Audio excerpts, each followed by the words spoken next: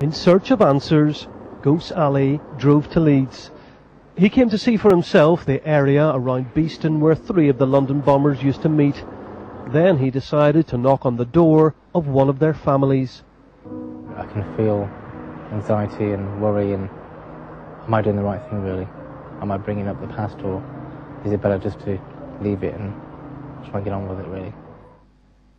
The past still hurts. His partner, Neetu Jain, was killed on 7-7 in the bus which was blown up at Tavistock Square. She died on her way to work, along with 12 other passengers. The man responsible was 19-year-old Hasib Hussain from Leeds, and it was his family Gous Ali went to see. As he approached the house with a BBC researcher, he met Hasib Hussain's father. Assalamualaikum. Are you Hasib's father? Can I talk to you? What happened next was away from the cameras. They spoke for 20 minutes. I asked him the question, does he know that his son did this? He really believes that his son didn't do it. And he, he, he was telling me more about his grief and his loss than, than mine really. Um, I kind of like feel pity for them and feel sorry for them that they had a son living in their house for 18 years and they didn't have a clue or an ounce or a feeling that he was hiding some big dark secret. Hussain's father made it clear he wanted a public inquiry. It was, for both men, a difficult encounter. Maybe in years to come, the experience will give me answers, but I can't see it right now. It was a lonely journey, but he may come back here to talk again. Mark Simpson, BBC News, Leeds. Next was away from the cameras. They spoke for 20 minutes. I asked him the question, does he know that his son did this?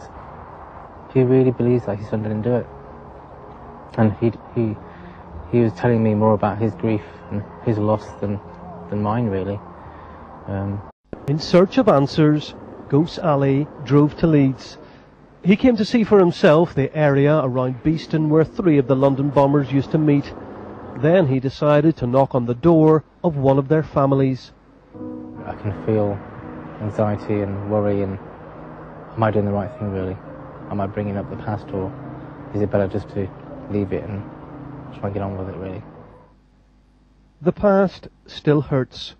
His partner, Neetu Jain, was killed on 7-7 in the bus which was blown up at Tavistock Square. She died on her way to work, along with 12 other passengers. I kind of like feel pity for them and feel sorry for them that they had a son living in their house for 18 years and they didn't have a clue or an ounce or a feeling that he was hiding some big dark secret. Hussain's father made it clear he wanted a public inquiry. The man responsible was 19-year-old Hasib Hussain from Leeds, and it was his family Gous Ali went to see. As he approached the house with a BBC researcher, he met Hasib Hussain's father. Assalamualaikum. Are you Hasib's father? Can I talk to you? What happened next?